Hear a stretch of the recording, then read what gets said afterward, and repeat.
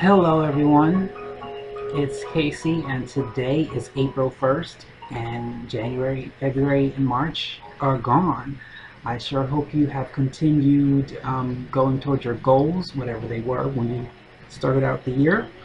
I'm encouraging you not to give up. So today again is April 1st and it is Resurrection Day.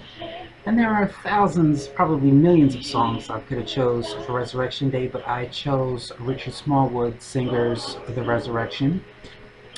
The music itself is based on Rachmaninoff's Vocalise opus 34, number 14.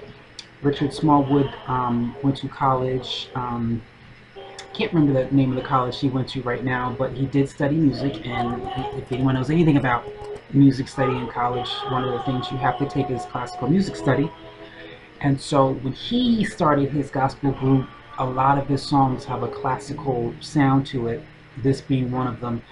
And this, the harmonies and the melodies that the Richard Smallwood singers create, period, is amazing. But what they did with this song is even more amazing which is why I chose it.